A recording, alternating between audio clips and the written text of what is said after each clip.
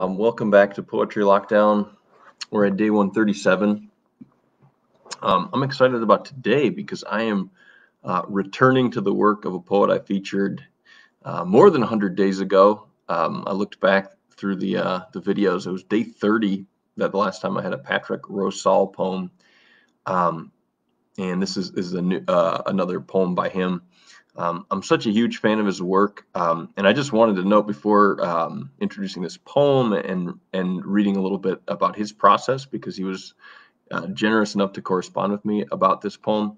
I just wanted to note um, Patrick Rosal, in addition to being a terrific poet, um, is also a great essayist, um, and I just link you to a couple of essays that that have been in my mind over the last couple of months, and an interview with a poet.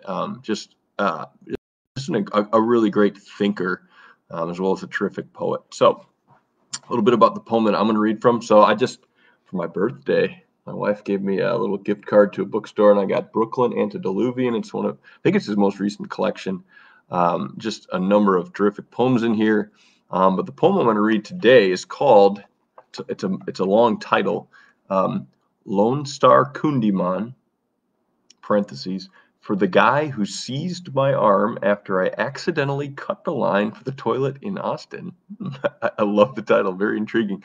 Um, and I looked around on the internet, I didn't see any full text of this, and it's a longish poem. Um, so if you're on Facebook, I did I did uh, project an image of it. So if you want to check back to my po- page, you can see. Otherwise, get by the book. You know, support poets.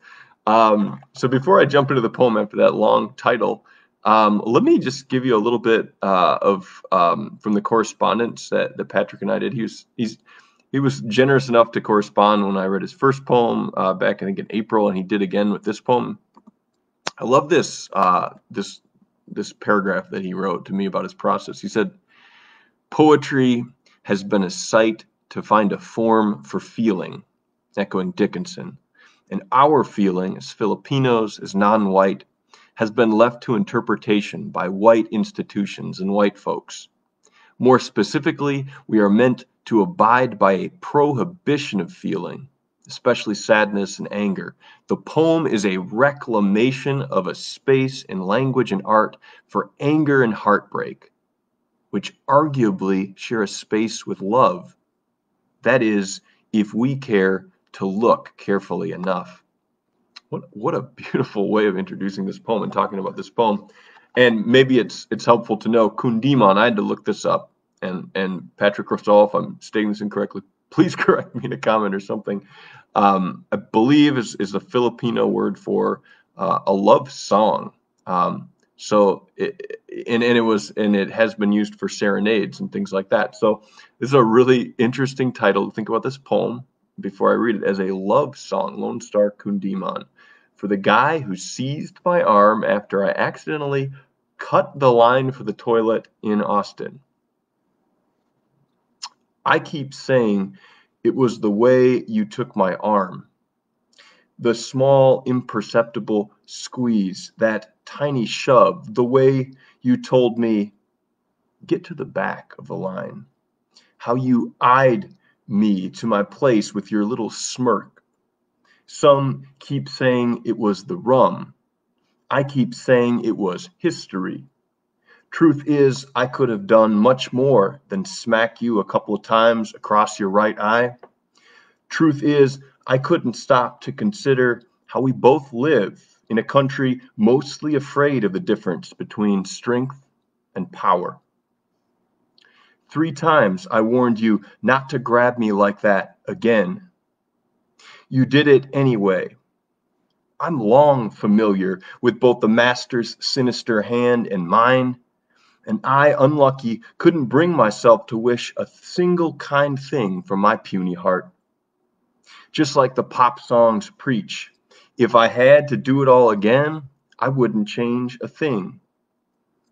I promised no more heart songs, but some want to hear what a heathen prays for when he bows his head and drops his fist. In Texas, you can sit in a diner packed with white folks who dip their sweet potato fries in honey Dijon while you practice what it's like to be the last man on earth or the first one to land in a city where no one sees you. You can pray for an ordinary night, a stroll down a side street off West Fifth where locals nod and say, Good evening. You can head to the John with your bladder throbbing like a jellyfish and trust the gentle manners of the South. Well, after I was ushered out, I walked the half mile with a friend from Tap Lounge to El Camino, laughing at the way you touched your own soft hand to your soft cheek, jaw dropped. For though I was the one kicked out of the bar, you would most likely grab another brother not so easily again. I guess whoever taught me and you about love, they taught us wrong. My hands quick trip from my hip to your chin across your face is not the first free lesson I've given. And you're not the first knucklehead I've had to instruct in the company of strangers with an open hand, left cross, delivered like a love song. Consider it a public education, no white boy left behind. yes, that's Patrick Rosal, uh, Lone Star Kundi, Kundiman. Love this poem. Um, love the ending, and I think um, if, if if you stuck with me through that poem, I think you can understand the title a little better. Um, lo- um, an open hand left cross delivered like a love song. I don't think I've ever read a line quite like that one. Uh, it's beautiful, it's funny, it's moving. Uh, it's Patrick Rosal. Um, I read a little bit from his correspondence as an intro. Um, I'm looking back through the the correspondence to see if there's something else that would be helpful. This is this is kind of cool, just in terms of like what what what generated the poem. He says, "What I can say about process is that I was teaching at UT Austin, living there for a year. SXSW, I think that's a music festival, was in full swing, and I had inadvertently cut the line when a younger and larger man put his hands on me with a tone that was all too familiar. I think perhaps he hadn't expected my physical response because of the proliferation of stereotypes about passive Asians. If it's not already clear from the poem, it was racialized bullying, or an attempt at it anyway. So I smacked him with my weak hand as he looked back at me flabbergasted, since I had violated the terms of America's caste system. I paid for it, of course, since I got kicked out of the bar. But me and my buddy David had a good laugh about it as as we found another establishment on the other side of town. The metaphorical resonance in this country abounds. So thank you, Patrick Rosal, for your, your generosity in sharing about your process for generating this poem um, and just for this beautiful work of art. Uh, and thank you all for tuning in. Hope you have a, you all have a good rest of your day.